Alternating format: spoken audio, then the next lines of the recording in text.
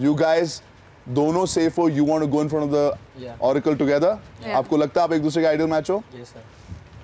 Wow this was easy not difficult do either one of them have a connection on this किसी को लग रहा था यहाँ पर? किसी को होप थी? आशीष से थी तुम्हें होप सब पता नहीं सब मेरी साइड से तो था। वो पता नहीं क्या सोच रही है क्या नहीं।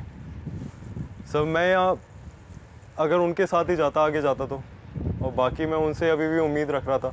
बट वो ऑलरेडी सेव है आशीष। स्टिल उसने आशीष को चूज़ किया। पता नहीं सर क्या सोच रही है, क्या नहीं।